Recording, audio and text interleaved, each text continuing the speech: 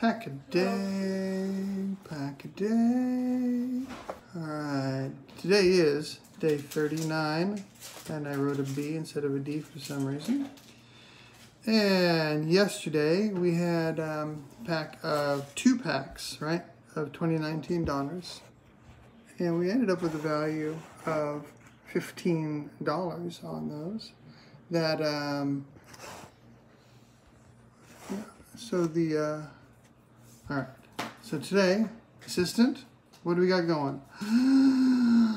she did it. Oh, yes, she did. 2020 Series 2, couple of packs. We are looking for Luis Robert in these. And we are looking for, hopefully, a second hit of some kind. Because we got a uh, one earlier. But this has all come from the same hobby box. So let's see. We got in here? Come on, Luis Robert. Robert Dugger is a rookie card. Oh, I gotta move. Gotta show my beautiful little thing here. Domingo Leyba.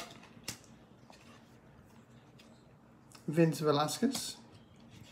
Jon Berti, rookie card. Renato Nunez. Ryan Zimmerman. DJ Stewart. Tony Kemp. We loved you when you were with the Astros. Uh, Eduardo Escobar, Xander Bogaerts, Jose Rodriguez. This one's upside down. That usually means something. Albert Pujols, Shed Long. Is it just maybe a short print? Randy Dobnak. It must be a short print. It is a short print. I have no idea who Randy Dobnak is, though. It's a rookie card. But that's a short print. So we'll see about that one. Yay, it's kind of cool to get that. I am pleased. All right, pack a numero dos.